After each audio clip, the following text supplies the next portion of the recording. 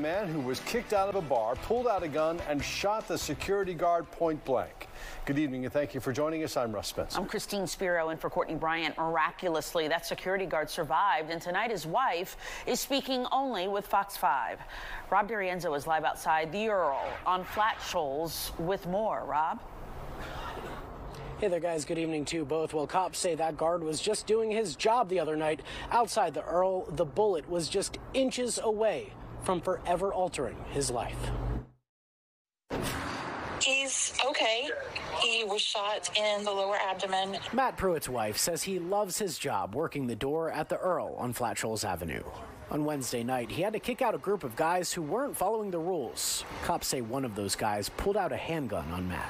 The bullet didn't puncture any of his internal organs.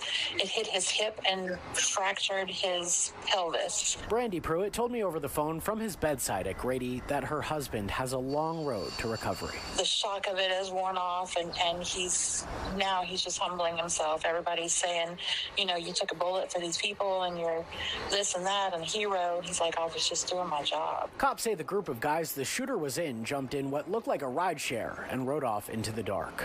Now investigators are trying to track them down. Meanwhile, the neighborhood has wrapped its arms around Matt.